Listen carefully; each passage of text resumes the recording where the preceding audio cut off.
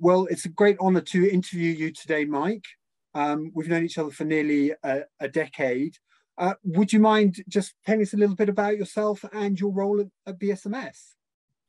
Well, thanks, uh, Max. You know, I, I nearly uh, started off by saying you're you're perhaps in the wrong job because you're you know you sound like one of these uh, you know sort of media experts you know and so on. But but but thanks so much for for sort of chatting to me this afternoon.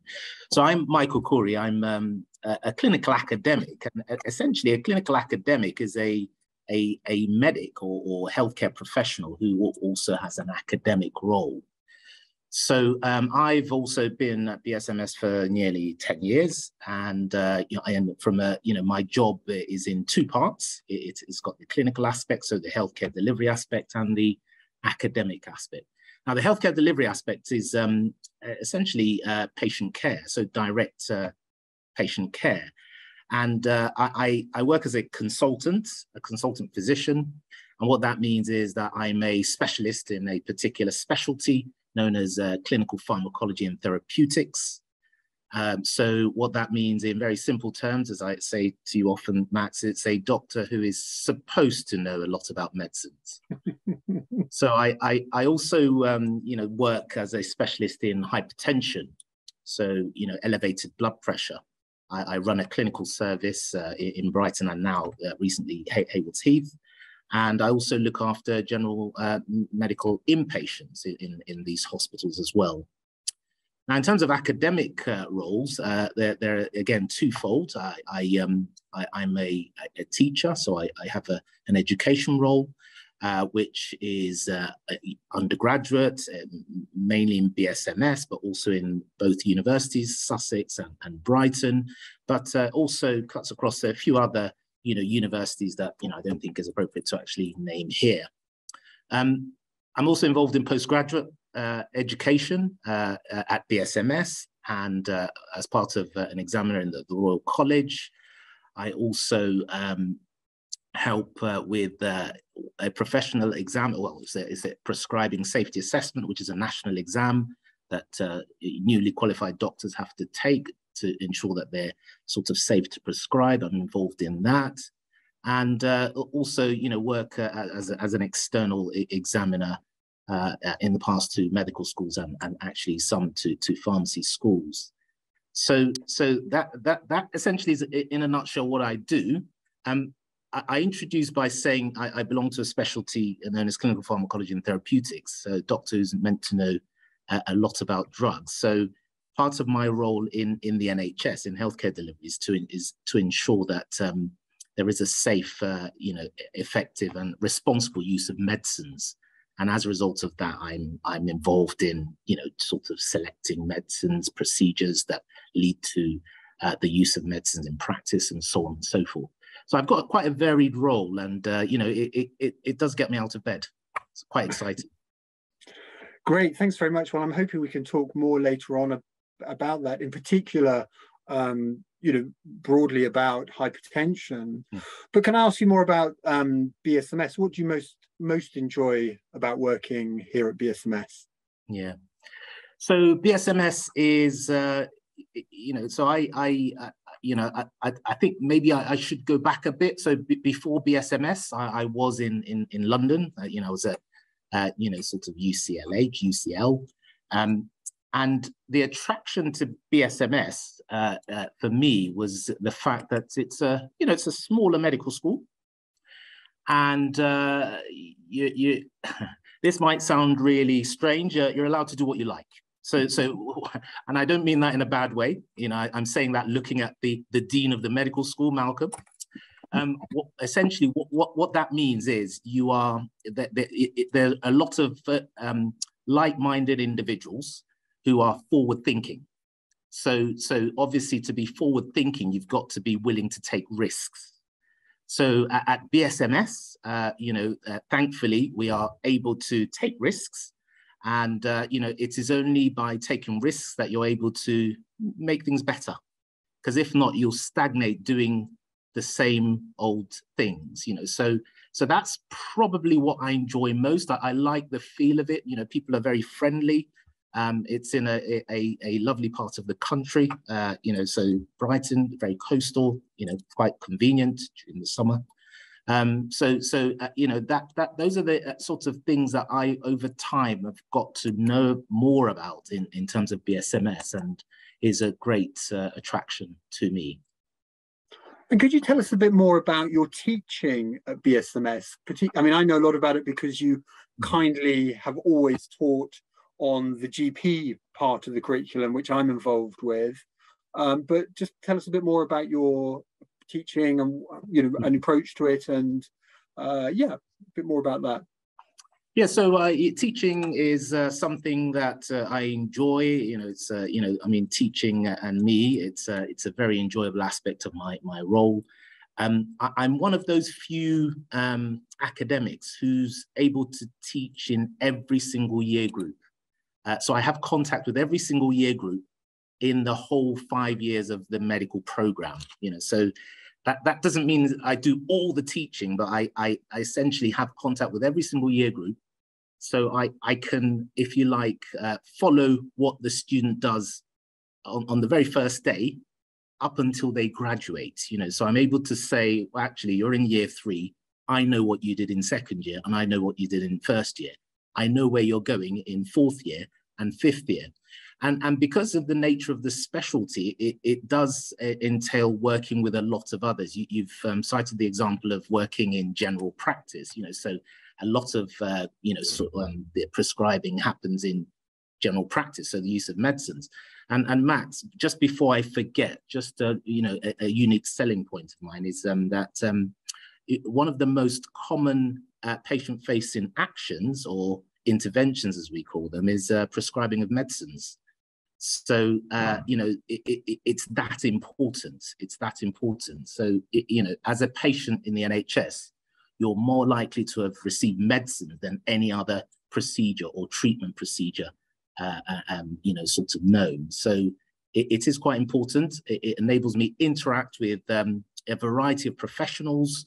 Um, as I said, you know, I, I sort of have contact at every level, and I'm able to look at the program and, if you like, map out exactly where, where, where the journey for, for particularly for undergraduate, where the student starts till when they graduate, and even beyond, I'm still involved. You know, so it's quite a quite a nice uh, sort of feeling to have. Oh, good. And I know we have some ex-students on the line. It's great to have them back signing in. Um, I know some from quite far. So, what do you think the take-home points are from your your contributions to teaching, to the curriculum that you hope that students, when they leave BSMS, will take with them into the NHS and for the rest of their careers?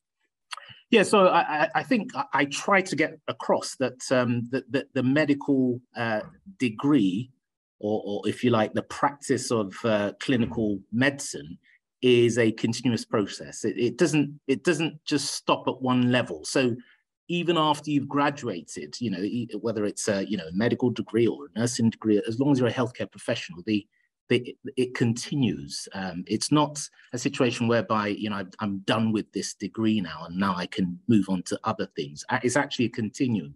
So it continues, uh, you know, into postgraduate studies, and actually beyond that, even when you you think you've got to the peak of your career, you will continue to learn it in terms of continuing uh, professional development. So, so it is a continuum. It carries on, and each time, uh, you know, I'm sure the students, uh, the oldest students who have graduated, will remember me showing, uh, you know, um, a particular slide, trying to sort of reiterate the fact that I I know where they're going uh, uh and where they've come from in terms of the, you know, sort of the degree. But that's essentially, you know, a, an overarching message. You never stop learning.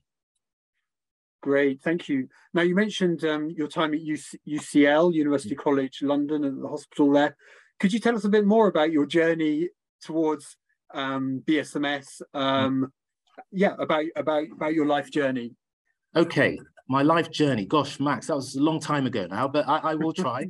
but um, so um, I, I, um, my parents were immigrants, um, you know, immigrants from Nigeria and uh, they they actually came to the United Kingdom individually, and uh, you know eventually met here, and then you know I, I, I was born. You know they left Nigeria at a time uh, of, of um, civil war. Um, they weren't targeted specifically, but because of the instability, and you know, these are my parents have very, very humble beginnings. There was an opportunity for each of them, you know, in their different, you know, sort of path, and they ended up in the United Kingdom. So that's, uh, uh, you know, how, uh, you know, my journey began because, you know, they then met and, and, and then, you know, I, I, I was born. Um, I, uh, they, they came as students and uh, their, their overarching aim was to go back when things settled down. And, and they did that. So I was born in addition to three other siblings. And, uh, you know, in the early 80s, uh, we went back to Nigeria to, to, to live with, with, my parents, you know. So they obviously, you know, that, you know, they, they were students here, they, they got uh, qualifications from here and, and went back to Nigeria in, in order to, you know, continue, you know, to, to contribute, I guess. And, and that was obviously home. So I, I, I, did grow up in Nigeria. I, I, I, grew up in Nigeria. I did my secondary education there, and my first degree is uh, from a Nigerian university.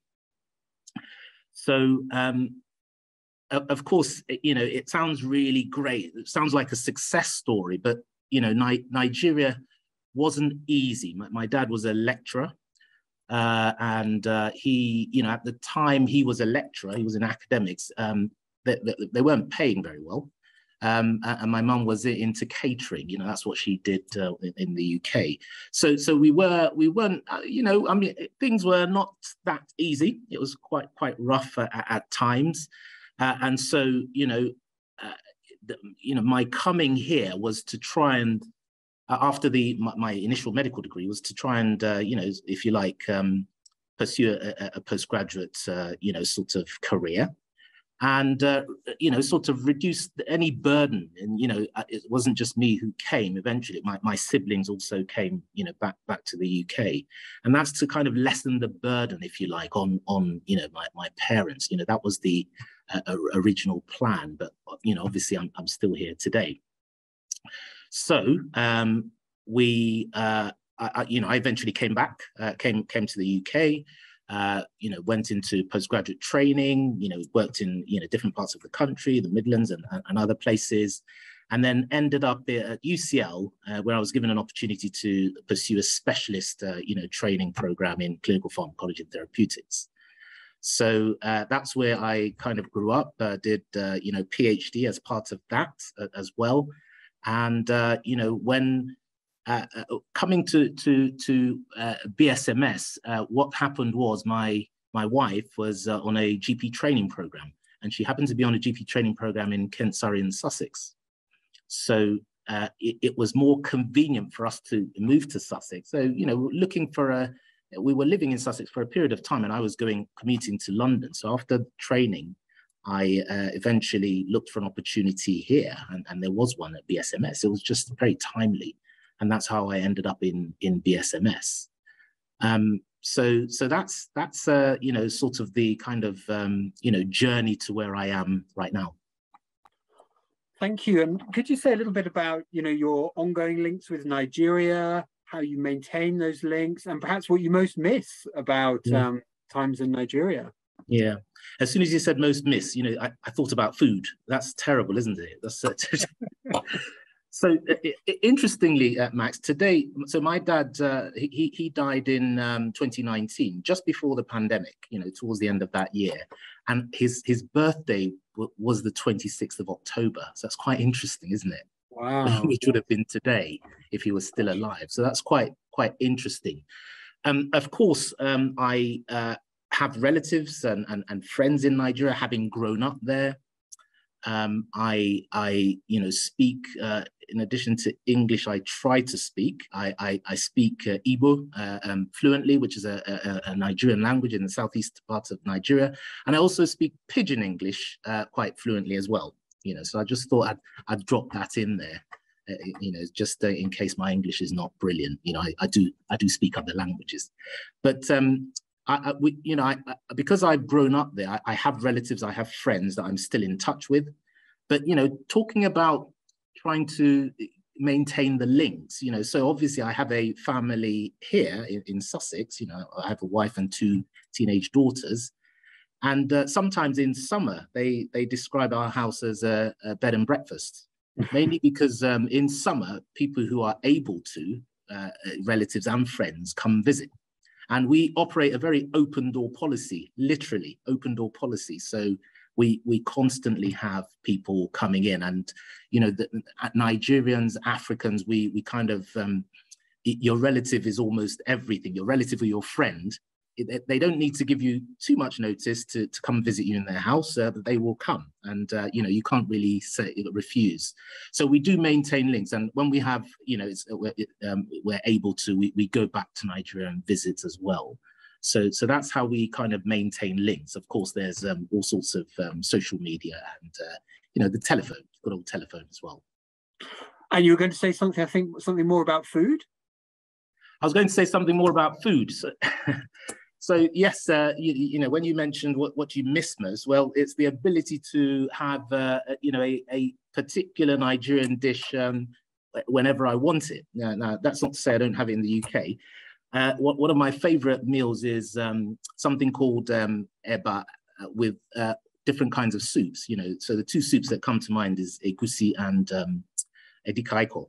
I'll explain that. So the eba is actually, it's actually um, cassava uh, that's um, sort of blended, if you like, and, and dried out and made into, it's made into a kind of doughy meal.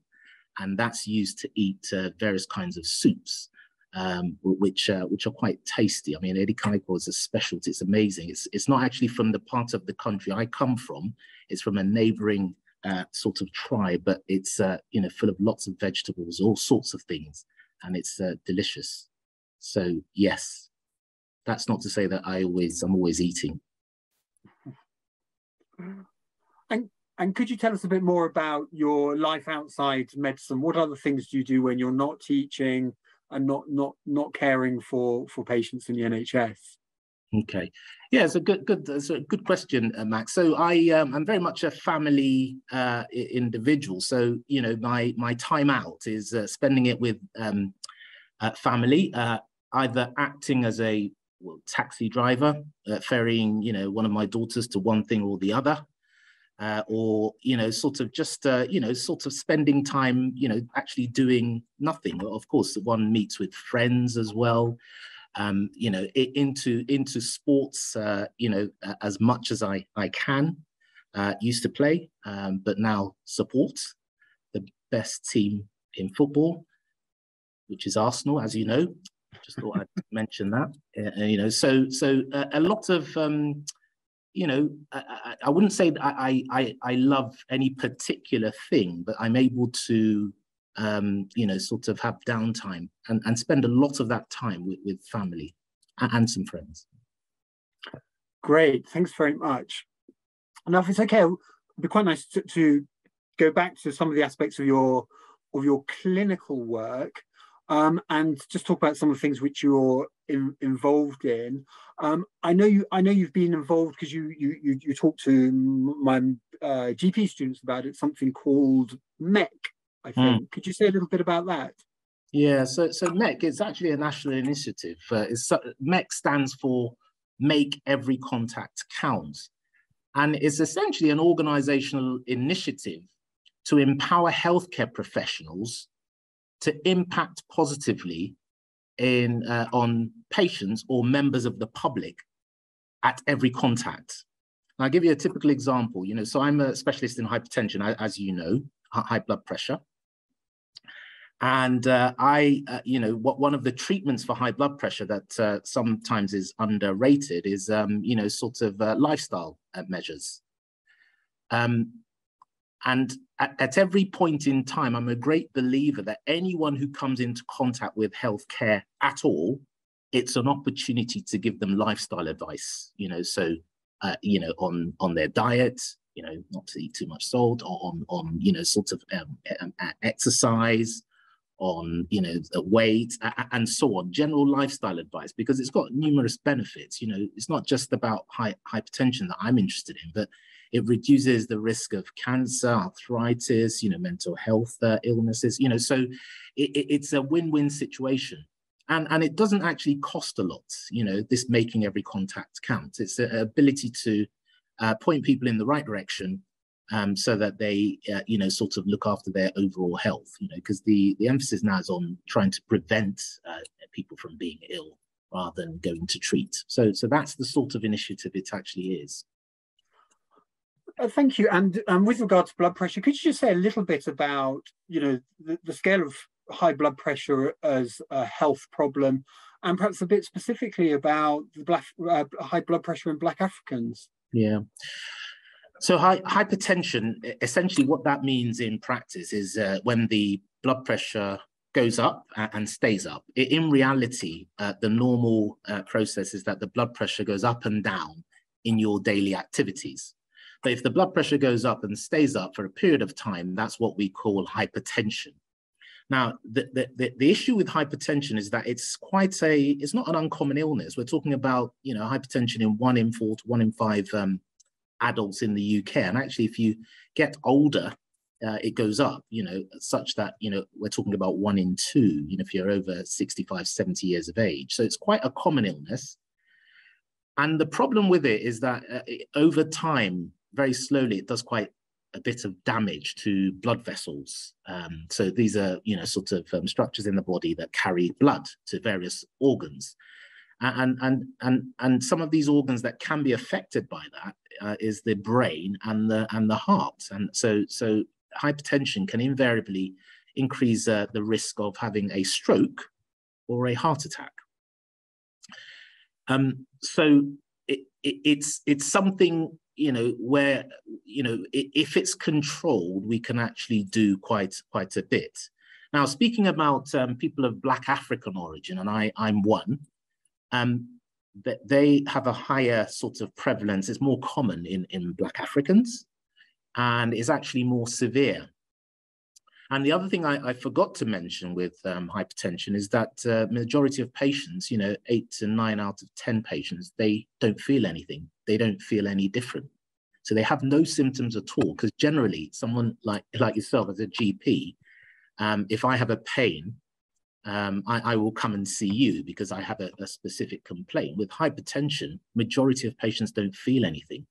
So the only way of uh, sort of detecting it is to try and measure it measure the blood pressure. So if people don't know to measure their blood pressures, what will happen is the damage continues very slowly and quietly until such a time when you know sufficient amount of damage is done and it causes heart attack or strokes. Now it's more, common in, in Black Africans. It's also more severe and, and, and, much more difficult to treat.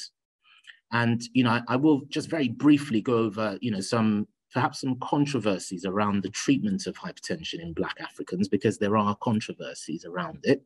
We, we do have uh, well-established pathways, you know, that um, empower healthcare professionals to be able to treat it. But um, when it comes to the treatment of uh, Black African uh, patients, um, that there is um, there are some certain truths, you know, scientific truths around how they respond to some drugs. Um, so those are, are, truths.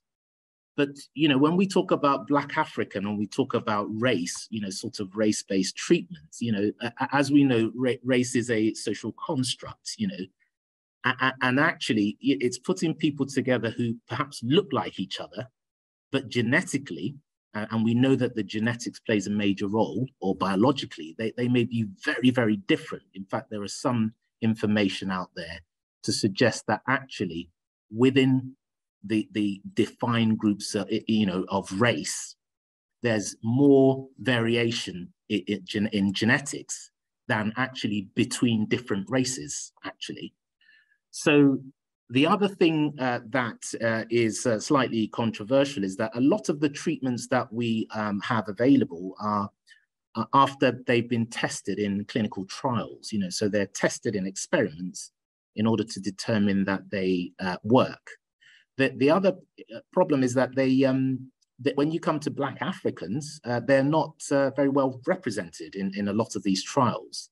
So a lot of the information is, is extra, you know, you extrapolate and say, well, you know, it's probably going to be good. And that's not to say that, you know, there isn't any data. It's just that they're not very, it's just the problem that um, arises in looking at the information. The, the other thing is, uh, you know, I've just talked about race as a social construct. You know, is there a difference between how Black Africans or people of Black origin who live in Africa, is, is there going to be a difference in how they respond, uh, you know, when it compared to uh, Black uh, individuals who live in America or in Europe, for instance? So those are things that, uh, you know, uh, questions that remain unanswered. Um, it doesn't invalidate the treatments we have today, but uh, it just makes us uh, begin to uh, ask questions as to you know whether we can make things better you know. So the the treatments we have today are quite effective and thankfully and it's made a huge huge difference you know, whether whatever your your race or racial origin. Um, but you know it's um, people are beginning to look at this um, to, to determine whether there is a, a better way of approaching it. So th those are the controversies, um, you know, some of the controversies. Of course, when you think about, um, I'll stop talking in a minute, Max. when you think about uh, um, uh, COVID-19 and how it impacted, um, you know, sort of significantly people of Black and minority ethnic origin, um, it, you know, it, it's important that, um, you know, other factors are taken into account that may mean that um, um, that might be the reason why you know the the effectiveness of the treatment is um, not not as good. So things like socioeconomic class and, and, and so on, social cultural factors. So it's it's a, it's it's a much bigger issue and, and needs a bit of unpicking. Um, but suffice it to say that we, we do have treatments uh, that exist today, and thankfully they are quite effective in, in the treatment of um, hypertension. Thank you. And um, I mean, as, as a GP, I mean, it feels very much that for all uh, people with high blood pressure, the primary challenge is identify, identifying cases.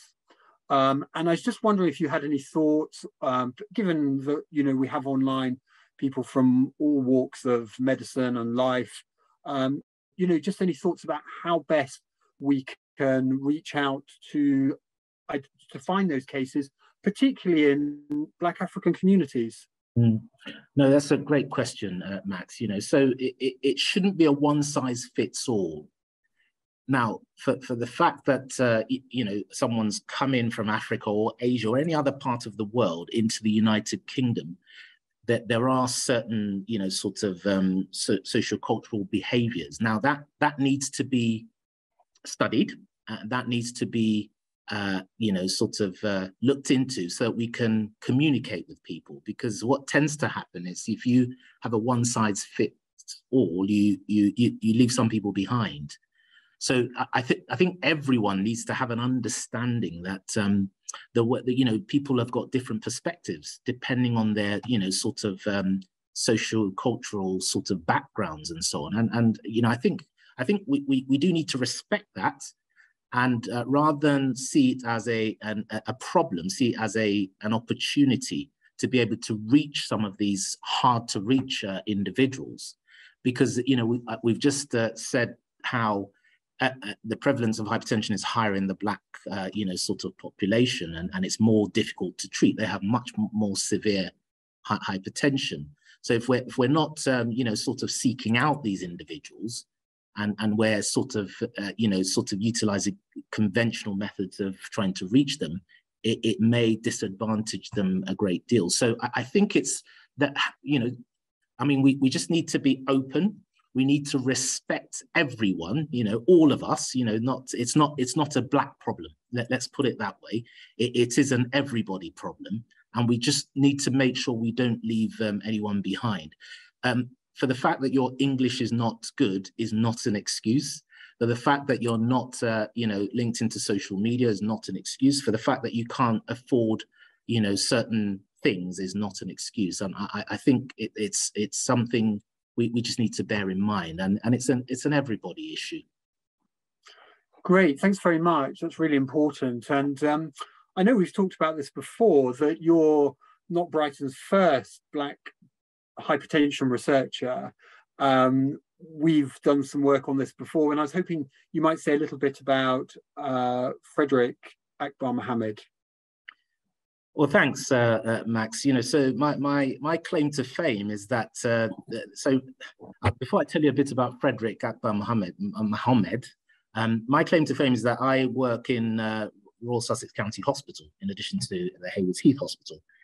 And uh, this chap you've just mentioned, uh, Frederick um, Mahomed, he he was a, a, when he was 18 years of age, he worked in this same hospital in, in the Royal Sussex County Hospital, and he he was um, the son of a, a, an immigrant, and actually his um, father and grandfather were into very much into health. I think his um, his father was into owned a gym in Brighton. This was in the 19th century, and his grandfather was into you know sort of um, I think shampoo. He, he developed shampoo that um, one of the kings or, or, two of the kings used, you know, and you know, this is someone who traveled all the way from India, you know, so an immigrant. So traveled, uh, got got to Europe, and uh, you know, you know, his, his offspring, if you like, um, have uh, developed, um, you know, the way we see hypertension. Anyway, back to um, uh, Frederick. So Frederick was a, you know, very bright uh, medical student at the time at the Royal Sussex County Hospital. And to cut a long story short, he eventually contributed to the knowledge of us being able to measure blood pressure by means of numbers. So in the old days, it wasn't the case. But he, he did a lot of research and ended up in London and various other places and contributed significantly to um, something called the sphygmograph, uh, which led to the blood the development of blood pressure machines that we have today. So uh, this is a you know someone who uh, was a second or third generation immigrant who uh, did uh, did quite a lot. And uh, you know, each time I think of myself at the Royal, when I'm doing a clinic at the Royal Sussex County Hospital, um, you know, it, it, he crosses my mind, and I, I, think, well, you know, this guy was great and contributed a lot. And uh, I, I, don't I don't think he's actually given enough credit for what he's contributed. When you look at um, the, the luminaries of um, hypertension in the hypertension field, um, he, he does come up, but you know, comes up eventually, if you see what I mean. But he's played a crucial role in in you know putting numbers to for us to be able to measure blood pressure, and also did some some uh, you know work uh, trying to establish that uh, one of the effects of blood pressure is that it can affect the kidneys. In the old days, everyone thought that uh, the kidneys um, were responsible for everything to do with uh, blood pressure, hypertension. But he then discovered that actually it's not necessarily just the kidneys, but um, having hypertension due to any other cause or, or, or uh, uh, no established cause can lead to, can affect how the kidneys work. Yes, thank you very much. Yes, and certainly I think we could do more to remember him both at the county hospital and and and at BSMS. Great, thank you, Mike. Um, in a minute, I'm going to throw the, uh, mm. session open to questions. Uh, but before we do that, I was just wondering, just sort of reflecting on your life, if you might tell tell us a little bit about one sort of high point and maybe one low point, one part that's been a struggle, um, and then we'll perhaps we'll go to some questions. Yeah, I'll start with the high point because that's usually easier, isn't it? So um, what one thing I, I, I didn't mention is, uh, you know, I'm sure pe people know this, is that, you know, I was, uh, you know, made a professor, you know, just over a year ago now. And, uh, you know, that's like the, the peak of the academic career. So, you know, who would have thought? Um, but that's a joke. Who would have thought? But you know, I, I, you know, got to the peak of, uh, you know, my academic career. But obviously, the work doesn't stop there because some people think you become a professor and then you retire um, it is just the beginning actually, uh, and you're doing much more. So that's uh, that's definitely a high. It wasn't just the high for me, but my my whole family. You know, my my wife and two daughters. You know, so these are people who've egged me on. Um, you know, right from the word go. So, I you know I think that that's definitely a high, um, and uh, you know major achievement. And you know, I mean, it's at places like BSMS that you can achieve such. You know, so if you think about you know where I'm coming from my background. It's only at places like BSMS that this can happen. Really, in reality, that's the truth. A low point. Um, a low point, I, I think, was um, I think when my my my dad died. You know, that was because um, it was a brief illness. You know, th these things happen. He was um, someone I looked up to. He taught me to respect people for, for who they are. You know, it doesn't matter what they have or what they can do. He, he taught me to respect every individual no matter who, who you know what happens. So he, he he is quite quite a coincidence that this is his birthday today. Well, it would have been his birthday, the 26th of October. And we're, we're having this talk, but that was a that was a low point. That was a very low point. It was um, kind of unexpected, um, but obviously, you know, um, you know, I'm sure you know we have uh, great memories together, and, and so on. Uh, but but yes. Thank you, Mike. Yes, I remember that. I remember that time a few years ago. Yeah. Well, thanks very much, Mike. What I'd like to do is um, to open the open to the floor